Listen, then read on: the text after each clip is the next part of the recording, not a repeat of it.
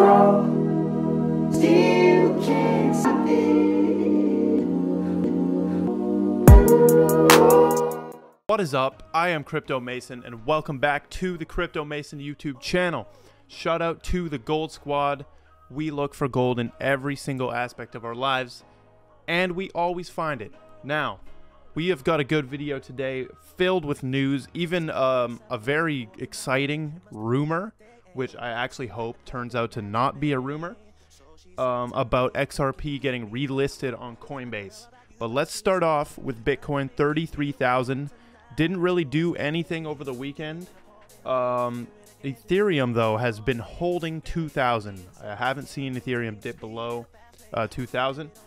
That's a huge level right there at 2,000. So, I mean, shit, $2,100 Ethereum is a very good accumulation points still. Um, some people still believe it'll go to 10,000 this year, and I am actually one of them. I do think Ethereum will hit 10,000 this year. Um, XRP, 63 cents right there. I mean, the market's pretty boring right now. We are doing the exact thing, just bouncing 1.3 to 1.4. That's it. Now, Revain is the top gainer in synthetics. I'm a fan of synthetics. I'm not a fan of Revain. Somebody made me check out Revain on the stream, on TikTok stream. Not really a fan of Revain. But let's get to the biggest news, or some of the biggest news. This grayscale $550 million GBTC unlock. So basically, there's some GBTC that's about to get unlocked, and um, yeah, so so they can either sell it, they can choose to liquidate, or they can choose to um, hold on. Where is it? Once unlocked, investors have the option to liquidate or hold on. And they are saying that it will have no significant impact on Bitcoin, but this is 16,240 Bitcoin, which were locked they're now being unlocked and available to investors. So we will see what happens with that. That's July 18. There has been so many dates set in July. We've already got three that I can name off right now. The GBTC unlock, Grayscale Bitcoin unlock, July 18. You got Elon Musk, Jack Dorsey talk on July 21, and you have um, July 28, which was the date for Elizabeth Warren. She said she set that as a deadline for crypto regulations. Now, look at this. Speaking of July 28, somebody has found that on this article on investing.com, basically they're talking about whales transferring $38 million worth of XRP. But look at this. Right here it says by July 28, XRP trading on Coinbase and other exchanges would resume.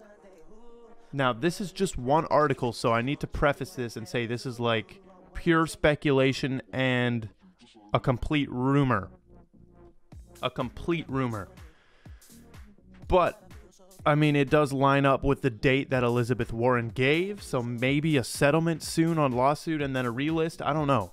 I don't know. I hate the XRP community for putting these dates on everything, but this isn't even the XRP community. This is investing.com and um, somebody in my Discord, Alt Mom, she looked into who wrote this, and it's and the person who wrote it loves XRP. So literally, they have biased writers um, on CoinQuora. So who knows? But that's the that's some news I woke up to see today. I mean, I want that. Hell yeah, that would that would be perfect timing. Perfect timing because you've got Flare that's supposed to launch this today. We're going to talk about, or not today. We're going to talk about that today, but Flare is supposed to launch in July. So, moving on, the Bank of Ghana aims to bolster economy with CBDC pilot. Bank of Ghana is putting out a CBDC pilot starting in September. So, tons of CBDC pilots coming. Damn, look at that. We got a Twitch follower and we're not even streaming, folks. Big Big J Money 007. Let's go. Um, you see, you guys see that Phoenix, that Phoenix um, notification now? Okay, so they're launching a CBDC pilot. We know where this is headed. I think CBDCs will be used and will be the thing. I don't see any other option. There's not going to be stable coins. This is the central banks want their power. We saw that with the clip from the Bank of International Settlements guy. He says, We want to be able to see everything you're doing, no cash. Look at this. Some Pundi X news is finally making it into one of my videos. As you guys know, I still hold Pundi X. I do. Um, but I did sell a bunch of it and conveniently just at perfect timing. And I made a bunch of profit, but I'm still holding some. Turkish entrepreneur rolls out a physical Pundi X crypto exchange. This is a physical Pundi X crypto exchange right here. That is really cool to see. They also have this one. Um, so this is insane. As you guys know, Pundi X, I have an entire video. Just type in Crypto Mason Pundi X, and I have an entire video covering why I think this is a, a gem right here.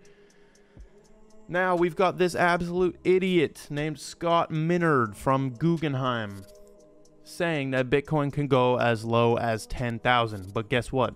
Just in December 16, 2020, he said that it could be 40, 400,000. So what's really good, buddy? He's saying he's saying 10k and now or he said 400k, now he's saying 10k. But I mean, I agree. Like I literally agree. I want Bitcoin I want Bitcoin to go down and everything else to go up. Like, can we just have that? Can we have the phased out moment right now? like, so we don't have to wait? I'm cool. Like, Bitcoin go down and um, XRP go up. That's what I. That's what I want to see. And also, I'm I'm gonna put this before all the other news. Rochelle Renee right here. Look what she says. Just remember, for XRP to pass Bitcoin in market cap, two things have to happen. Number one, Bitcoin must freeze its price or drop. And two, XRP simply needs to increase in value to just $13.62 as of this tweet. Of course, if Bitcoin drops, the target number for XRP is lower. Look at that. Look at that. Doesn't it seem like Bitcoin has frozen its price? Just bouncing 30 to 40? So, what if Bitcoin does drop to 20k as all these people are predicting?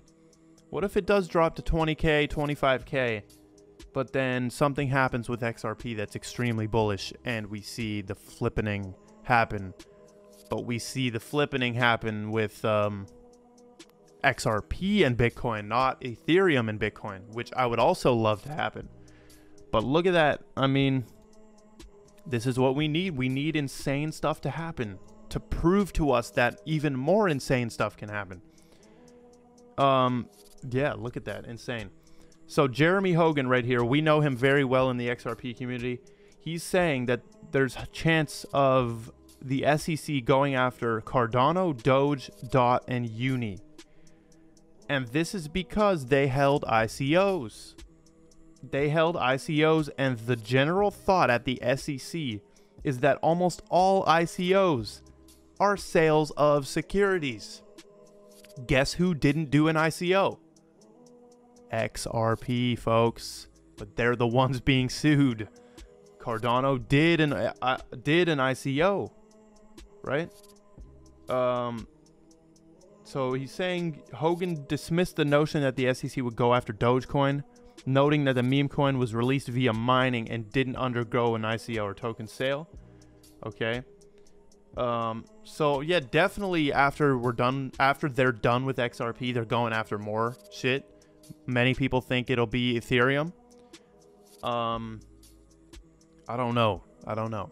I don't know if it'll be Ethereum or not. We're gonna have to see. Last thing right here for news pieces: China gives out 40 million dollars of digital yuan in red envelopes to boost adoption. So they're paying you to use the slave system. Eventually, they're not going to have to pay you to use the slave system. But that's what they're doing. They're doing some red envelope project. I mean, they really got to pay people to use this thing. Last thing, XRP Shark. He's tweeting at the CEO of Flare and Flare saying, Could the XRP community get an update on the launch of Flare, please? Will it happen like the Will it happen this month like it is anticipated due to the tweet from a few months ago where you stated that the launch will occur end of June plus or minus 4 weeks? Okay? So we're coming down on plus or minus four weeks, right? We're about almost two weeks into July right now. So what's what's happening? Like personally, I don't think Flare's gonna launch in July. I think they're gonna keep pushing it or something. I can't see it happening for some reason. But I would love to be proven wrong on that statement right there.